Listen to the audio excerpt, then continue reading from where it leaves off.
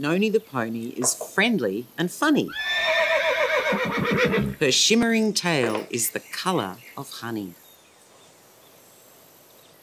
She lives on a farm at Waratah Bay and likes eating apples and carrots and hay.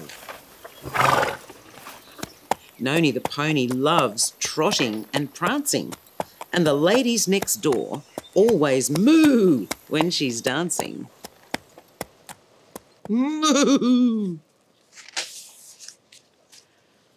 She gallops and spins and canters and bucks, then kicks up her heels with the hens and the ducks.